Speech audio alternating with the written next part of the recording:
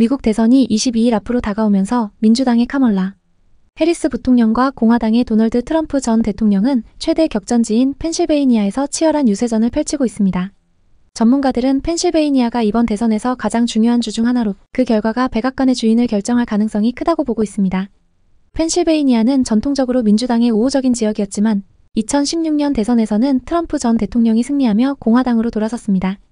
2020년 대선에서는 조 바이든 대통령이 근소한 차이로 승리했으며 이번 대선에서도 펜실베이니아의 표심은 매우 중요하게 작용할 전망입니다.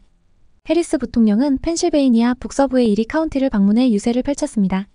이리 카운티는 대선 때마다 지지 정당을 바꾸며 bellwether로 불리는 지역 중 하나로 대선 결과의 바로미터로 평가받고 있습니다.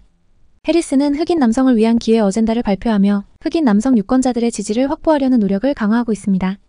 주요 공약으로는 낙후 지역 기업가들을 위한 대출 지원, 기호용 마리화나 합법화, 흑인 운영 기업의 산업 접근 기회 확대 등이 포함되었습니다. 트럼프 전 대통령은 필라델피아 교외에 위치한 오크스에서 경제를 주제로 한 타운홀 미팅을 열었습니다. 트럼프는 경제 문제에 초점을 맞추며 바이든 해리스 정부의 경제 정책을 비판했습니다. 또한 그는 펜실베이니아에서 여러 차례 유세를 펼치며 자신의 지지층을 결집시키고 있습니다. 펜실베이니아는 선거인단이 19명으로 경합주 중 가장 많은 수를 차지하고 있습니다.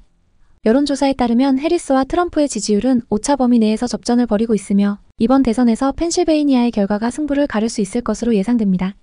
특히 이주는 셰일가스 산업의 중심지로 트럼프는 화석 연료 개발을 강조하며 경제적 기회를 제공하겠다는 메시지를 전달하고 있습니다.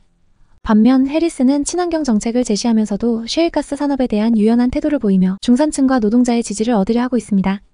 펜실베이니아는 과거에도 대선의 승부처 역할을 했던 주로 2008년 이후 이주에서 승리한 후보가 대통령으로 당선되었습니다.